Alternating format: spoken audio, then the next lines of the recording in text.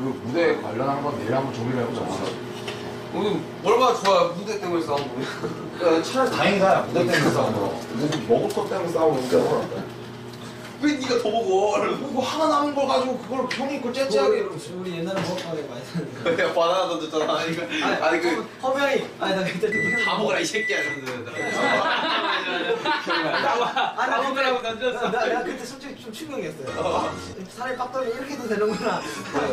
야, 뽀해, 뽀해. 좋은, 좋은 컨텐츠를 위해서는 뭐든지 합시다. 자, 스탠바이. 스탠바이 액션 액션이요. 자, 예고 예고 예고 아니, 형은 왜 그때 MMA를 하고 그래요? 스탠바이 스탠바이. 오늘은 어떤 상황일까?